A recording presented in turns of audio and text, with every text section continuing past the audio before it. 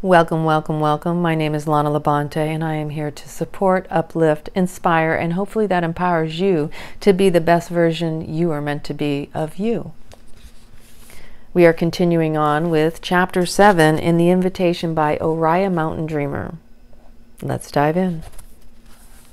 Beauty. I want to know if you can see beauty, even when it's not pretty, every day and if you can source your own life from its presence. Mm. Mitch brings Sarah flowers, a magnificent bouquet of color, purple and scarlet gladiolas, exotic birds of paradise, and orange tiger lilies, all surrounded by fragrant boughs of eucalyptus. He brings flowers every Friday evening when he comes to share the Shabbat meal. Sarah greets him at the door and receives the flowers into outstretched arms with exclamations of delight. A tiny, dark haired woman, she buries her face in the flowers, reveling in their scent and shapes and colors, examining each blossom. She thanks Mitch again and again, telling him how wonderful he is, how sweet, how thoughtful, how cared for and special she feels. Mitch grins uncontrollably as Sarah kisses his cheek. You've changed, she says with real pleasure, stroking the front of his freshly laundered shirt. His ears turn red beneath the ends of his curling, still damp hair. Of course, he says quietly. I wanted to look. He hesitates, embarrassed. Nice for you. She reaches up on tiptoe to kiss him full on the mouth. You do. You look beautiful. Mitch walks to the table where I am sitting. A man of 39, he suddenly looks like a boy of 16. He is glowing, and I could swear that he has actually grown taller during this exchange. The weariness held in his shoulders from working all day at a job he dislikes is gone. His eyes are bright with confidence, and I know as I watch his eye follow Sarah's movements as she prepares the evening meal that in this moment there is nothing he would not do if it would please this woman. Sarah recognizes the beauty this man brings her, and she is willing and able to receive it, to let it renew and rejuvenate her. And as she does, the beauty is multiplied. Mitch, fully received, feels something of his own beauty and has more to give. It sounds simple enough, and it is. But what is simple is not always easy. Sometimes, in our familiarity with the beauty of the landscape of our daily lives, we fail to see it. We forget to really take it in. We neglect to express our appreciation and really let it feed us. The Navajo have a prayer May I walk with beauty before me. May I walk with beauty behind me. May I walk with beauty above me. May I walk with beauty below me. May I walk with beauty all around me as I walk the beauty way. What is this beauty that the Navajo seek? It is what pulls us toward life. It is what calls to us when we despair, seduces us into opening again and again to the possibility of love and laughter. It is the physical manifestation of the mystery, God, Spirit, the divine, that surrounds and beckons to us every day of our lives. It is the life that chooses life. The Navajo prayer expresses our soul's desire to recognize and receive beauty, knowing that as we do so, we become co creators of this beauty, of that which urges. Live. Many spiritual paths, both traditional and New Age, posit a hierarchy of beauty.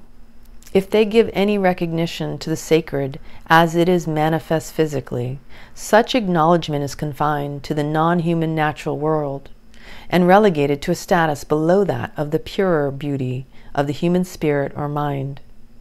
Often, being in physical form is seen as a trial, a burden to be endured, a time to learn vital lessons for the time when we can escape the limitations of our bodies and graduate to the higher, non physical afterlife. I don't know what happens when we die, but I do know what happens when we live with this separation of spirit and matter beauty becomes merely physical packaging, and those with power define what is pleasing based on profitability and subjective preferences. It is easy to become cynical, about how the marketplace has used our desire for beauty to sell us a narrow version of what cannot be bought or sold. We know the costs of this eating disorders, self hatred, endless striving for physical perfection.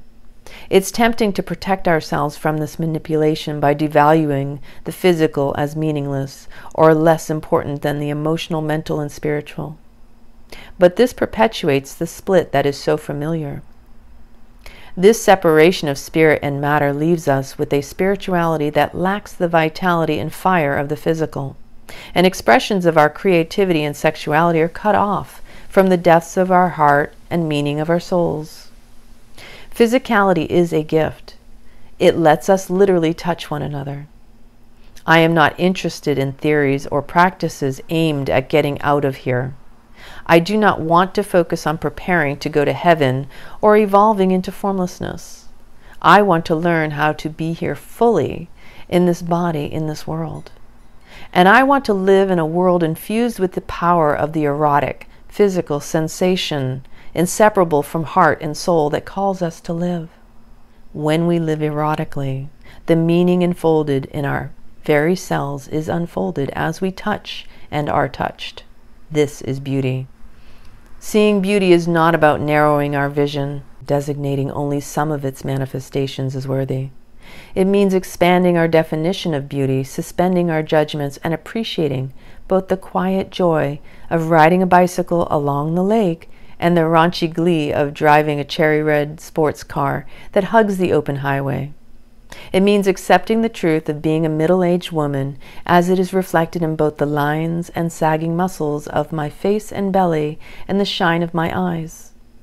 Seeing beauty is about broadening our ability to recognize the interconnectedness of all manifestations of life and delighting in how the smells and sounds and tastes and sights that surround us conspire to draw us toward living fully.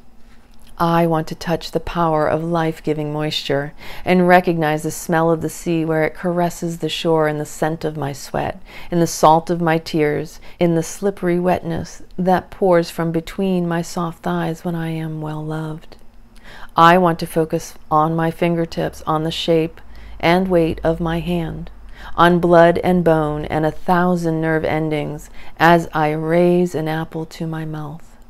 Let the tip of my tongue slide on the round, smooth firmness of the cool surface and feel the spray of juices as my teeth pierce the skin and enter the crisp flesh inside. I want to taste the weeks of rain and sun, the ripening on the tree, the labor of the farmer and the fruit picker, the journey of the men and women who bring fruit from grove to table. I want to receive the beauty that reminds me that there is no separation, that each act I live while I am fully awake cannot help but be both prayer and lovemaking. We find and are fed by beauty in the places where the truth, pretty or hard, is revealed in physical form. Sometimes we need help and support to get to the truth. Several years ago, while facilitating a painting workshop, I urged a woman to paint what she felt about her mother's recent death. I knew she didn't want to and that she was angry at my nudging her toward it. I also knew that she would not be able to paint anything else, that she could not go around what was true. The painting that emerged had excruciating beauty in its stark truth. The haunting, terrified figure in the painting clung with bony fingers to a small purse clutching to something that could no longer help her. None of us could say we liked the painting, but we could not tear our eyes away from the beauty it held. It simply was the truth. Our soul's longing calls truth to us. And even when this truth is hard, when the beauty it reveals is not pretty, our deep hunger for the truth is satiated, and some tension deep within us is released. Anyone who has uncovered the lies of someone they love knows how the pain of betrayal comes mixed with the relief of finally being able to acknowledge what they have known but pulled away from for years. Finding and acknowledging the truth is not always easy. Sometimes, often, we don't know what is true. Of all the phrases frequently used in the New Age movement, I think the one I dislike the most is, This is my truth.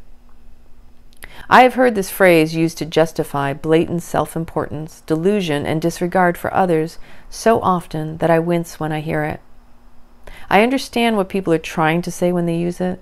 It is a reminder that in our ordinary consciousness, we have no access to absolute truth, cannot claim that our way of seeing has a monopoly on knowledge or wisdom. It is an attempt to find our own inner authority, to resist giving over the authority in our lives to something external, church or state, family or business, all those voices that profess to know what is best for us. But in a legitimate effort to claim authority in our own lives, we forget that there is reality beyond our limited perception, if not objective at the very least, intersubjective. If I get up tomorrow and see two suns shining in the sky, the first thing I will do is ask someone else what they see. If they do not see two suns, I will probably go to the eye doctor, assuming something is wrong with my eyes. I will not insist that my truth involves there actually being two suns in the sky. We can be and sometimes are wrong. Knowing this, we can create community where we can check to see if our perceptions have any intersubjective truth.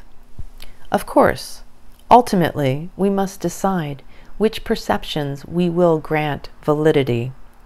But to insist that my truth and your truth have no meeting place that I do not need to consider other perspectives, to be unable to imagine that I may be wrong about what I think or see or feel at any given time, is to invite narcissistic mayhem.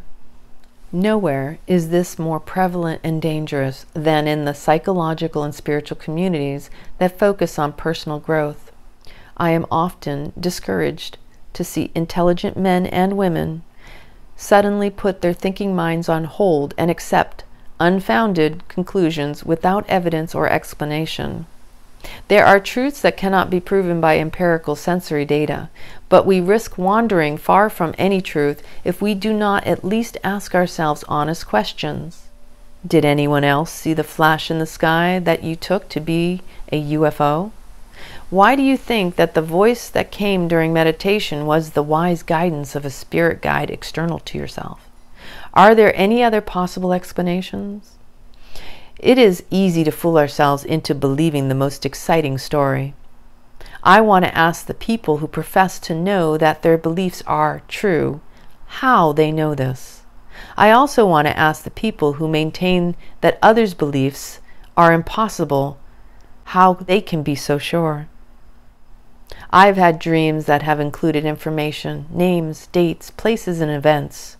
I can historically verify information I could not have known from my waking life.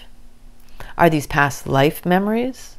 They could be, or they could be the result of somehow tapping into a collective unconscious or being given something from spirit. I don't know. What I do know is that these dreams feel important. So I explore why these stories, of all possible stories, come to me, what they may have to show me about living fully. I want to unfold their meaning, uncover their particular beauty, the truth they hold that helps me live right now. I have faith in the truth, in its ability to find us. One of the warm up exercises I often have workshop participants do is to write a lie, as if it were true about why they are in the group. People go to great lengths to concoct elaborate lies, and we have great fun sharing the stories. But more often than not, no matter how far away from the facts of their life each person has gone in their story, some truth emerges about why they are there. The woman who writes that she is from Jupiter reveals her feeling of always being the outsider. The man who tells us he is an undercover cop often feels he is a fraud or a phony, secretly using others for covert purposes. If the truth often seems elusive when we seek it directly, perhaps it is some consolation that it also relentlessly reveals itself to us in our lives, our dreams, and the stories we tell one another. It is gratitude that expands my ability to receive beauty in my life. Lately, as I step into the shower each morning, I say a prayer of gratitude for the abundance of hot water that pours over my body. And I ask the water spirits to cleanse my heart as my body is washed. I am awed at the fortune in my life when I think of how, in most times and places, only a privileged few, the wealthiest, the most powerful, have been able to afford this pleasure that most ordinary people in developed countries take for granted. The gratitude I feel opens me to the small moment of beauty in my life. There are thousands of moments like this in our lives every day, and it is often our awareness of the truth in others' lives that enables us to appreciate beauty when it is offered. Watching a disabled friend labor to cross a room with small, slow steps reminds me to be aware of and grateful for the strength in my legs, the effortless way I move, the story on the news of the woman whose son has been killed in a drive by shooting makes me grateful for my sons, for their laughter at the dinner table. The truth of her bottomless sorrow calls me to a greater patience with messy rooms and neglected homework. And if I am fully with the truth, I am able to receive and be fed by the beauty in both my friend's pain and perseverance and the grieving mother's courage. This is how death, the inevitable cycle of change in our lives, becomes our ally. Our anticipated loss of what we take for granted reminds us of what is precious, of what matters and what does not, of the meaning and pleasure of being in physical form. Tell me, can you see beauty? Can you let it renew your commitment to life every day? I don't want to wait for death to be near to receive the beauty in my life. I want to be awed every day by the truth, pretty or painful, and let it open me to the beauty that surrounds me and draws me deeper and deeper into my own life. Hmm. Meditation on gratitude. Sit or lie in a comfortable position. Bring your attention to your breath, following the inhalation and the exhalation as it moves in and out of your body.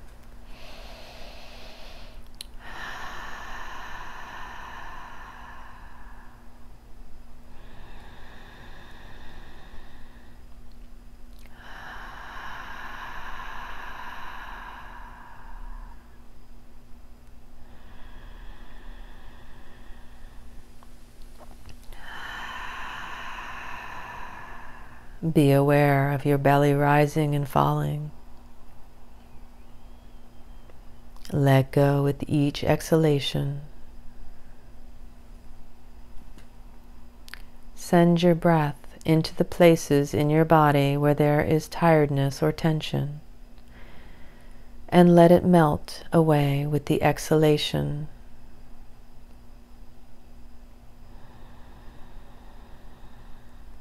Let thoughts drift away, gently bringing your attention to your breath.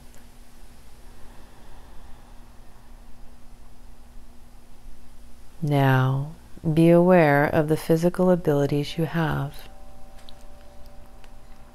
Imagine your breath flowing into the parts of your body that come to mind. One at a time, sending appreciation with your breath into these parts of your body.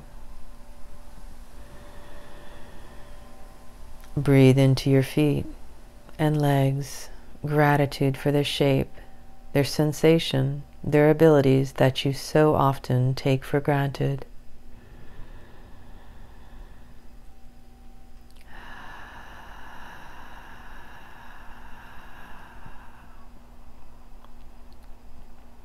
Breathe into your hands and be aware of all they do each day.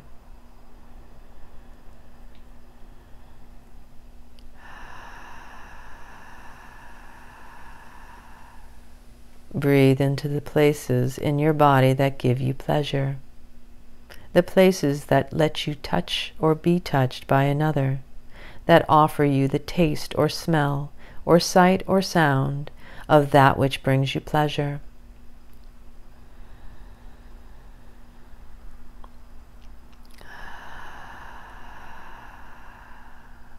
Breathe your gratitude into these places one at a time.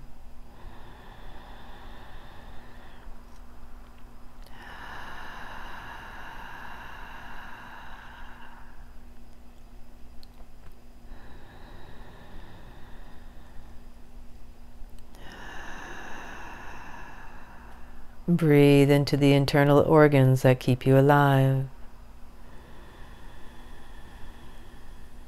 The heart that beats steadily.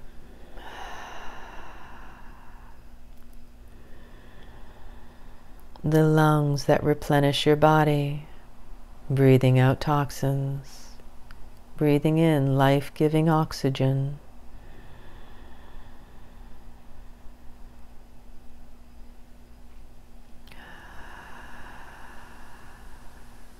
Remember your digestive organs that nourish and strengthen your body without any thought on your part, breathing your gratitude into them.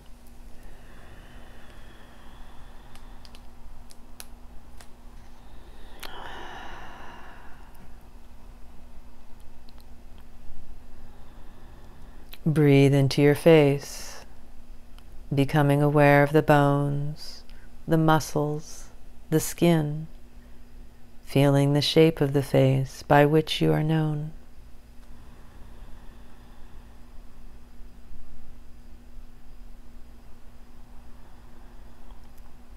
Let yourself appreciate the beauty that is there. Take in the stories of life that are told in the lines and shape and texture and color of your face.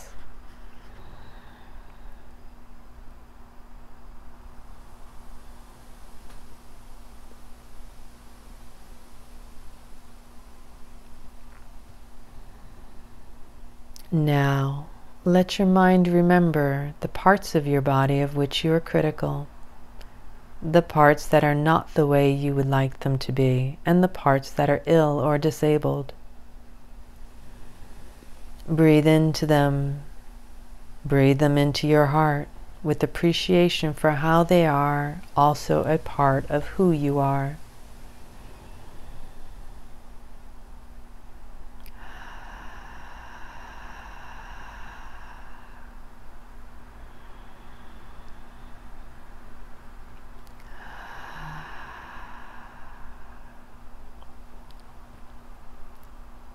Move your attention now to your immediate surroundings, keeping one part of your attention on your breath. Breathe in whatever beauty is around you and breathe out your gratitude for this beauty.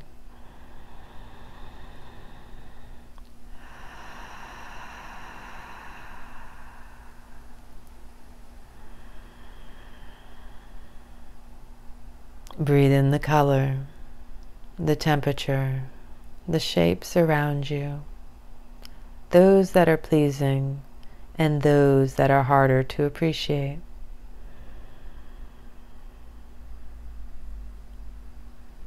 Breathe out gratitude for the variety, for the time and the space to do this meditation.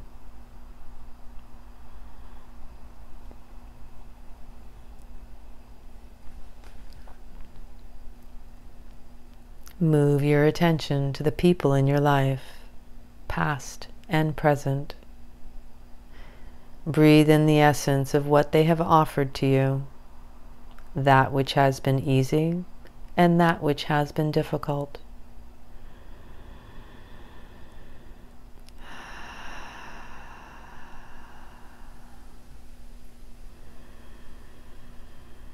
Breathe out your gratitude for them.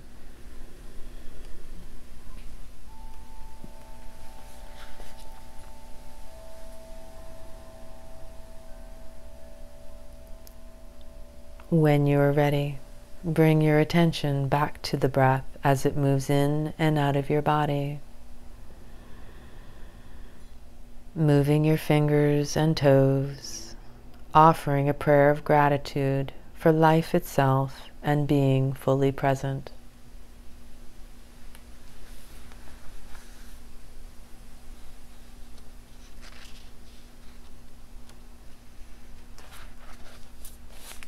And that concludes chapter 7 Beauty. See you in the next chapter.